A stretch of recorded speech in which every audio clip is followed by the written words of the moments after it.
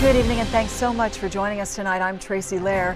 People have left candles and flowers in an alley where a woman was gunned down.